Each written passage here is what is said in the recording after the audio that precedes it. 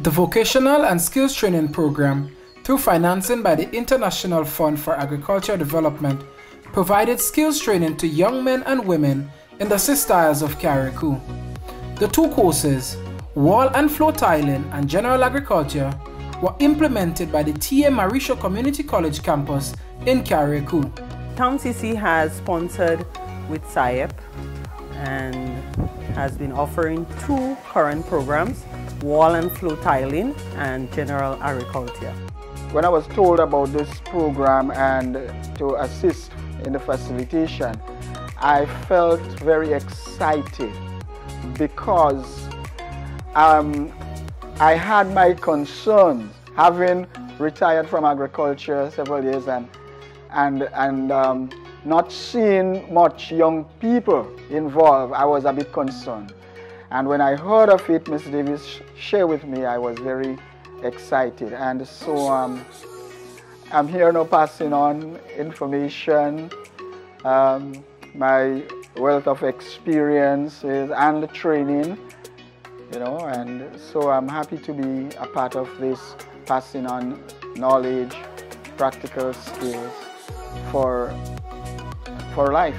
The course covered uh, erection and dismantling of limited height scaffolding, which they did on point, uh, erection of um, rest the restriction barrier with all the signs and everything on it, and the repair of wall and floor tiling. Approximately 40 persons enrolled into the courses.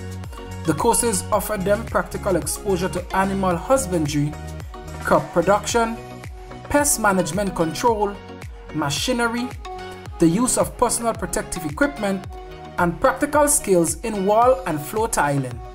I have learned new skills in the field of agriculture and I have learned how to put some practices in places like irrigation, controlling pests, using machineries, and mulching plants. I learned a different variety of things, such as planting different crops, learn how to measure goats, and, and etc. Well, I had a bit of exposure to tiling work before and then learning a few different tricks, skills, stuff like that. And it was a good experience in the sense that there was a lot of things that I didn't know and now that I know it, it's pretty exciting going forward from here. At first when I started, make new friends and then getting into the depth of it, I enjoyed it. Well, different types of tiles, how to lay down the tile, how to cut a tile, how to measure the room to put the tile down. It gave me a wider range of different opportunities. I could be employed, self-employed, and also work in partnership with other people. Um, meeting new people and um, learning a new skill, so that everything else was exciting. Every day was an exciting day in, during the six months.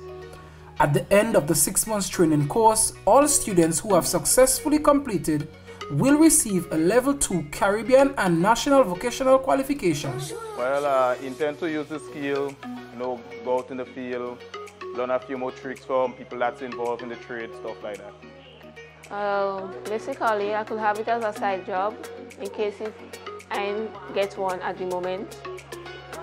So that could improve me to where I want it to be. Well, my plan is to practice some of it home and if it came out to be successful, I will open a small business on my own. After successfully completing the course, I will put some of what I have learned into practice and if successful, I will start a small business in the field of agriculture. SAEP is committed to supporting the advancement of young men and women in skills training and certification for sustainable livelihoods. I am. I am. I am. I am. I am. I am. I am Alicia Julian and I am a SAEP beneficiary. I am a SAEP beneficiary.